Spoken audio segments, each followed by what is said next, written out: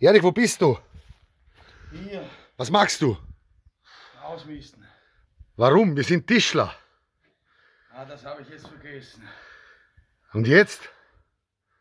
Da ist es verdammt warm herinnen. Erik, schwitzt du? Ja, das erste Mal. Was magst du genau? Erklär das den Menschen.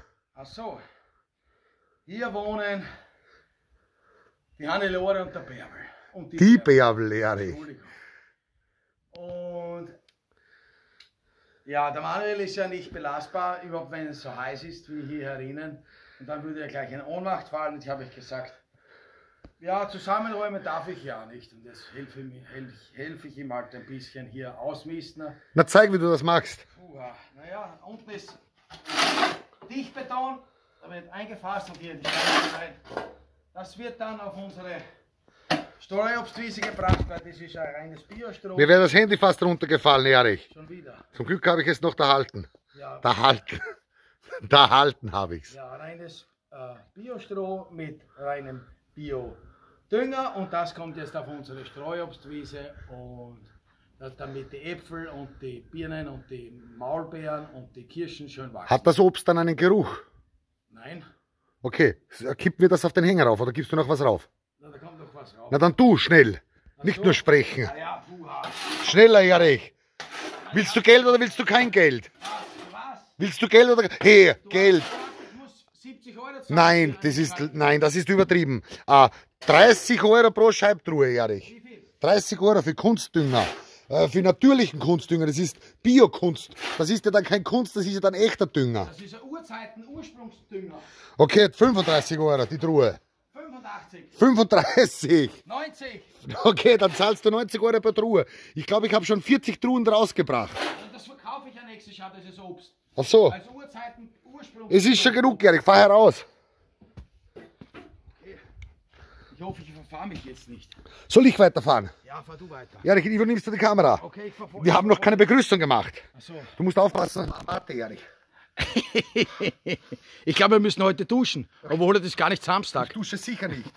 Servus, liebe YouTube-Gemeinde. Es ist schön, dass ihr wieder dabei seid.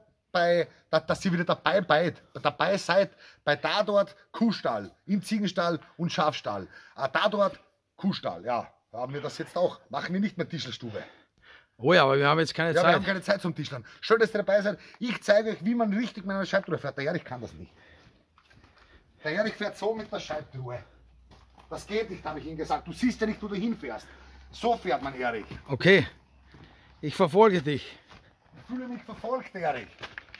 Wichtig ist es, beim Rauffahren auf den Anhänger ein dünnes Brett zu nehmen. Dicke Bretter haben nur dicke Leute. Also und mit vielen Ästen drin, das ist Genau. ganz wichtig, ja. So, wenn jemand vorbeifährt mit dem Rad, kann er genau erkennen, dass ich eigentlich recht schlank bin, weil ich mit diesem dünnen Brett herauffahre. Zwillingsäste. So, jetzt.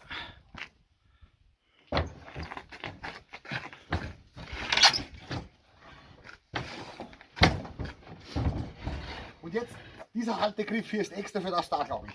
Jetzt nehme ich die Scheibtruhe, mache es so.